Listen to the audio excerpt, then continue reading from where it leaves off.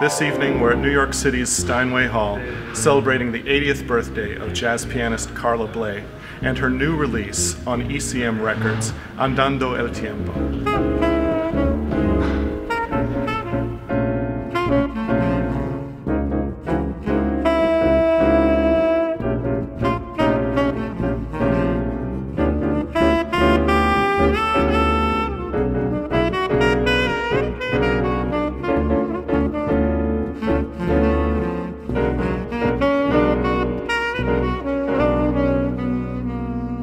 I just sit down and imagine music and then write it down.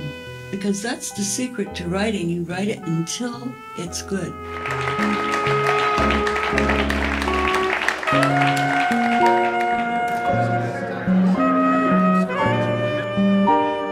I think on this album, this particular trio brings the music to a new level. She's still a force, and she proved that tonight. Música